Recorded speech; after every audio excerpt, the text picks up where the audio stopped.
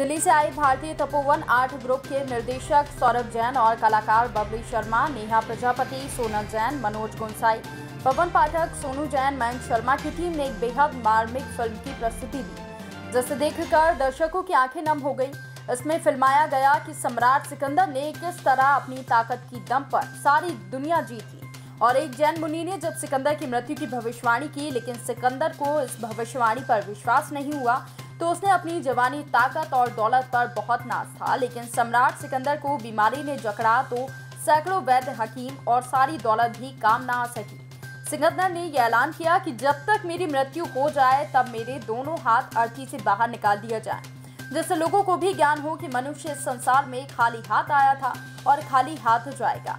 बस अपने द्वारा किए गए कदमों से फल और पाप पुण्य लेकर जाएगा। सारे संसार की दौलत पर राज करने वाला सिकंदर भी आज इस दुनिया से खाली हाथ जा रहा है। जय हो।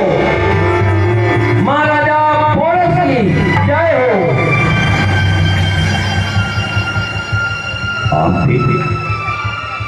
तुमने महाराजा पोरस की जय क्यों नहीं बोला? नहीं ये सत्य है कि यहाँ जगह और अपनी गौशाला के लिए तो जो आयोजक लोग हमारे, बैठ के जगह निश्चित कर लेंगे।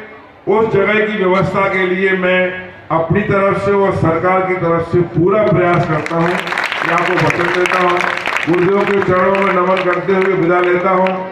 सभी को, सभी संतों को सत सत चरण स्पर्श, माताओं को सत सत चरण स्पर्श, और हमारे सभी सूची विधानसभा के जो मेजबान बैठे हैं, आप सबको सच सच चरण स्पर्श बहुत बहुत धन्यवाद। कि हम भी मरने वाली की अंतिम इच्छा ज़रूर पूछते हैं। कहिए, महाराज बोलू, तुम्हारे साथ किस तरह का व्यवहार किया जाए?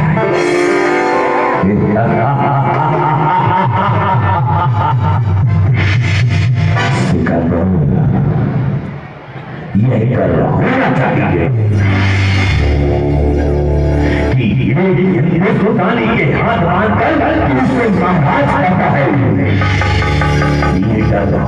चाहिए